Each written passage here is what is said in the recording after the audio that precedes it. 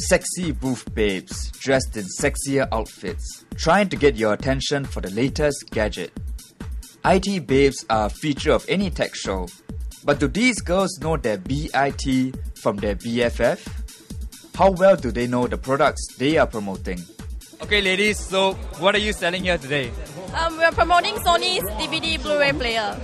Yeah. What is a Blu ray player? Um, it actually plays a lot of uh, different movies um, in high definition. So you get to see um, your your movies in uh, HD quality, five times sharper than the usual. So, why should I uh, buy this player then? Um, because when you use a Blu-ray DVD player to watch DVD, right, the quality is definitely much better than normal VCD players, and the images are much clearer and sharper. How has the response been so far? Um, it's been alright. I mean, um, our job is actually to just educate the people that you know if you're just using uh, your normal TV with like um, your usual CDs and everything, right? It's not going to provide the same kind of quality that um, Blu-ray can give you. So yeah, we're just trying to like educate people that it's going to be even better if you watch it in HD quality. Yeah, Is your job to educate people or to attract attention? a bit of both. When you attract attention, you get the chance to actually educate people at the same time. So, what tactics do you use to get customers' attraction? Attention. We don't use any tactics. You- Eye contact, smile at them. Yeah, I guess it's a natural because you have to like smile and then um, try and engage people. Yeah, so it's, it's a pretty normal thing. It's not like a tactic or anything like that.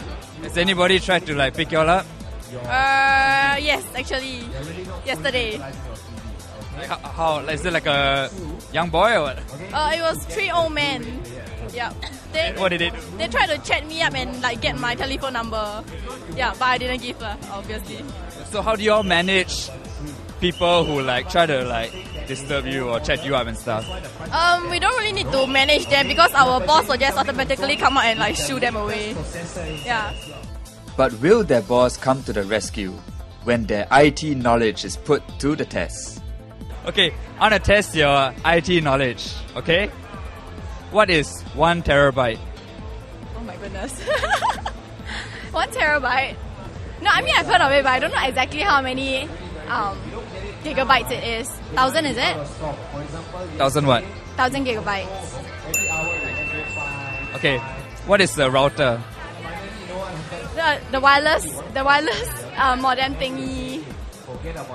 A router is a type of computer, but it doesn't have a CPU like a normal computer. But it uh, works just like a computer.